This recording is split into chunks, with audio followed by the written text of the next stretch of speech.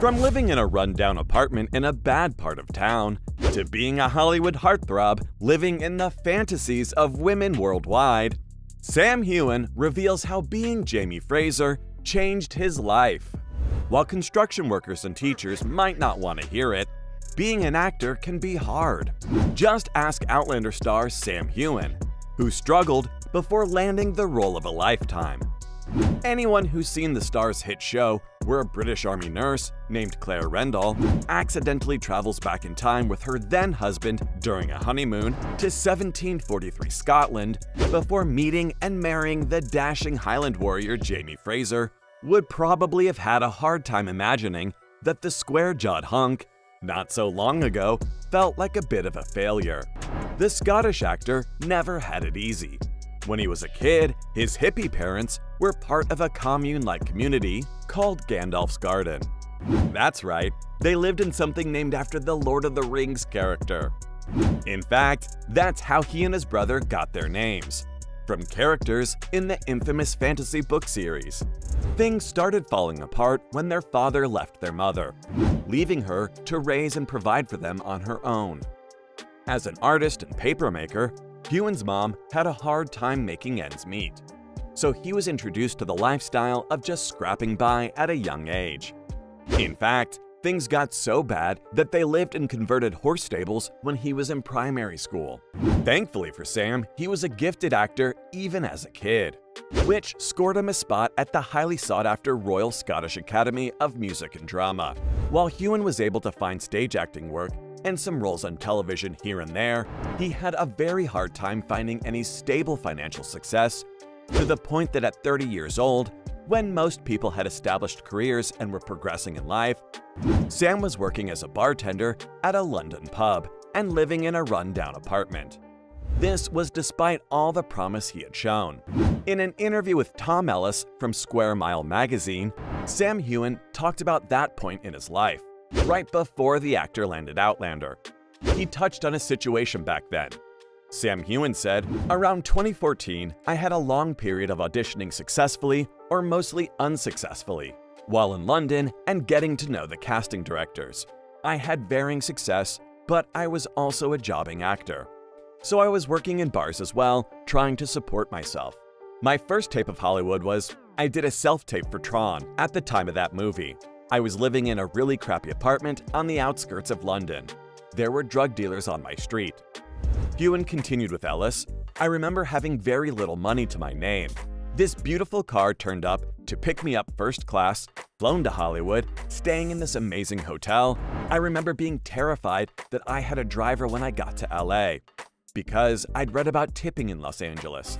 I only had $20 or whatever, so I gave him my last 20. I was like, shit, I'm staying in this amazing hotel, but I can't touch anything. I can't touch the minibar because I won't be able to pay for it. Think about that for a second. This man is undeniably a hugely successful actor right now. But back then, as a 30 year old man, he had 20 bucks to his name. The things you sacrifice to follow your dreams. Sam continued his interview with Square Mile. I remember walking down Hollywood Boulevard and my phone rang. It was the local pub in London where I was working at the time. They were like, hey mate, you're five minutes late. Are you going to be here? And I was like, no, I'm afraid I'm in Hollywood. It was a great thing that he skipped his shift, because that trip to Hollywood changed Heughan's life forever. Working on Outlander not only changed Sam Heughan's life by pulling him out of living paycheck to paycheck, but the opportunity helped him connect with his Scottish heritage. While talking with the Cultural Coven podcast, he confirmed that he always felt British. Heughan said, Growing up when we did, Scotland was stuck in a shortbread tin kind of world. I'd feel kind of twee. For the non British out there, twee is a fancy way to say quaint or sentimental. Heughan continued, I never felt Scottish till I went to other places and people started seeing me as Scottish. Coming back to work on Outlander, I just realized what an incredible country it is and how much I love it. Reconnecting with his heritage also spurred Sam Heughan to be a supporter of Scottish independence from the UK. He made it clear that he was proud of being both British and Scottish, and that it has nothing to do with any hatred for Britain. Instead, it was about Scots having the chance to choose their own future for their democracy. Sam has translated his on screen success to an active role in charity as well. In 2022, Heughan helped raise 590,000 pounds sterling, or $730,753, in addition to the $6.9 million up to that point. It was from his charity organization, My Peak Challenge. Founded in 2015, My Peak Challenge was started by Heughan as a nutrition, training, and support program that promoted wellness and a healthy lifestyle while donating the proceeds to charities funding cancer research. Heughan didn't stop there. Knowing that he was a bit of a smoke show, Heughan agreed to put himself up on auction for a good cause. In 2019, the Outlander star, in conjunction with Omaze, raffled off a date with him to the MPC Gala. He helped raise the jaw-dropping figure of $2,892,000, donated to Bloodwise UK that night. Heughan has ran in several charity races in support of testicular cancer and research programs. While Sam Heughan has a wonderful career and has enjoyed all the amazing work and opportunities that it provided, everything hasn't been all roses and rainbows for the man playing Jamie Fraser. In an interview with Today, Heughan opened up about the issues he's had and detailed them in his book, Waypoints My Scottish Journey. Sam said, I think you know as a young actor, quite green, not really much experience, that there were a lot of pressures starting off in an industry I didn't understand. I think there was a certain body type that we were expected to have. I think women talk about it a lot. A lot of actresses have talked about the pressures they face, but I don't think men do, so I wanted to mention it in the book.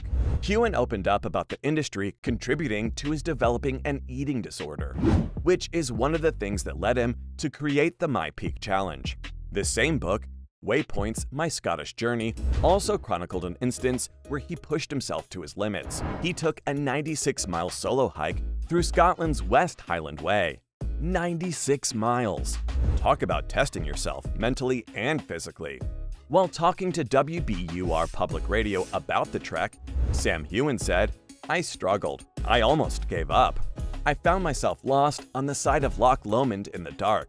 And it wasn't until I really sort of slowed down and enjoyed the journey that I began to appreciate the trail itself. Sam Heughan's long journey to success has been an inspirational one, especially for people with seemingly unattainable dreams. Before he scored the role of a lifetime, he was in a bad place. Most people can relate to being in a situation or time in your life when you feel unfulfilled or almost feel like a failure. But the Scottish actor's story is, and should be, a reminder that wherever you are, it's not the end of the road. And as he said in his own words, you need to learn to appreciate the trail itself. So, from picking him up out of struggling financially and career wise, to affording him the opportunity to help people and raise money for charity, playing the Outlander character helped Sam reconnect with his Scottish heritage while facing his own personal demons as well. And that's what Sam Heughan revealed about how being Jamie Fraser changed his life.